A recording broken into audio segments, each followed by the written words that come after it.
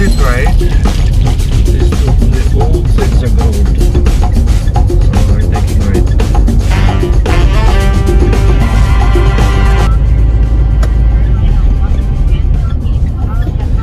Ganda oh. plants. So Quezon Protected Landscape.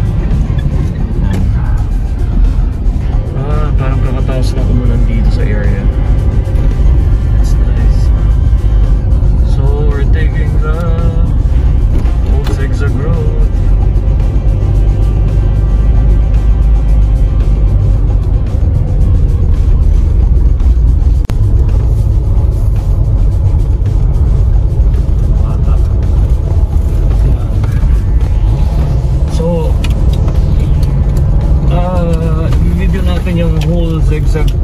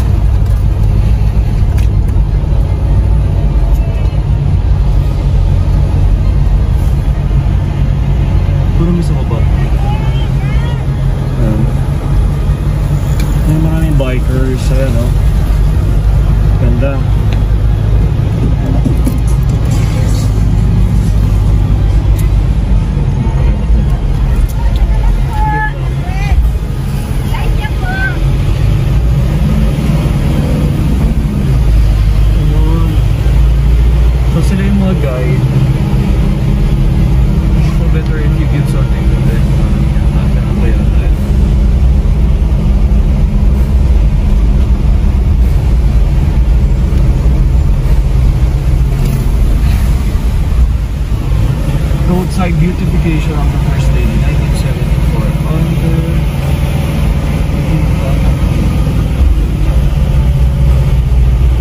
buti kumakapit yung gulong natin kasi asfalto to and basa so madulas talaga.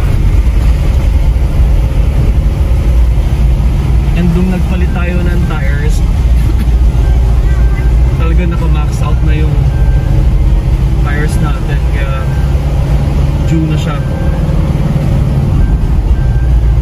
Kaya it pays talaga na you double check your card. Lahat lahat.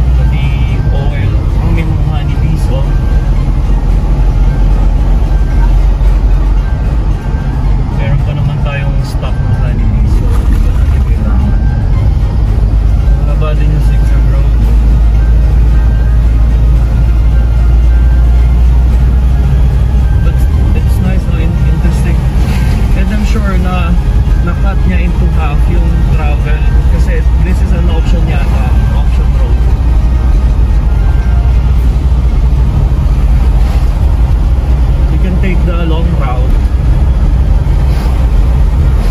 Hindi ka dito dadaan pero mas mahaba.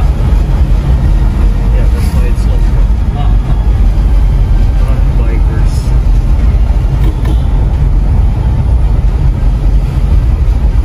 And better to take this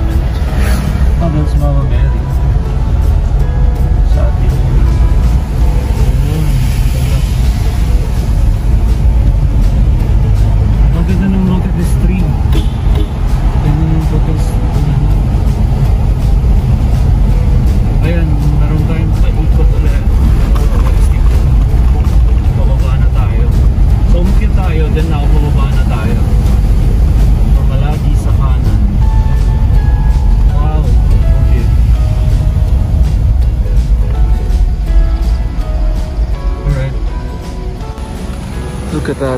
Ah, it's the mountain view. And sila yung mga nag-guide kapag pa'y paakyat kasi sobrang steep nung paliko na yun. So we have to wait. Kasi may mga paakyat na. So nakalayan natin nasa likod. Ayan, paakyat na sila. Alright, abante na lang.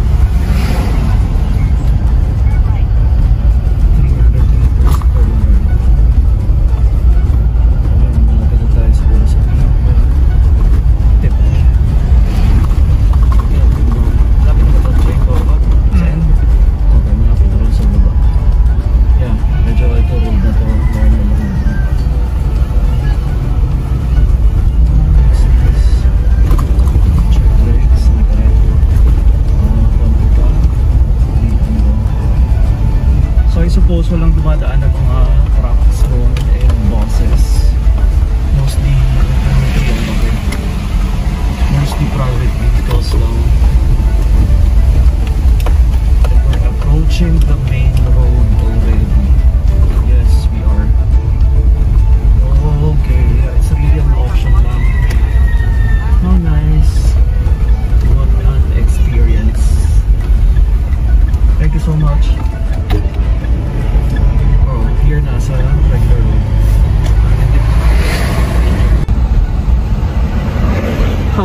we made it doon sa zigzag, old zigzag road, yung Bituka.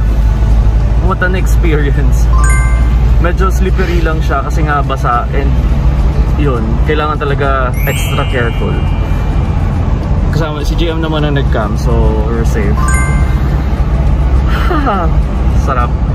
And we're still 8 hours away and 20 minutes from Bicol, from Sorsogon.